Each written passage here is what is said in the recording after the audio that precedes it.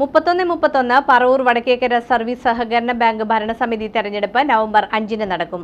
തെരഞ്ഞെടുപ്പിന് മുന്നോടിയായുള്ള സഹകരണ സംരക്ഷണ മുന്നണി കൺവെൻഷൻ മുൻമന്ത്രി എസ് ശർമ്മ ഉദ്ഘാടനം ചെയ്തു.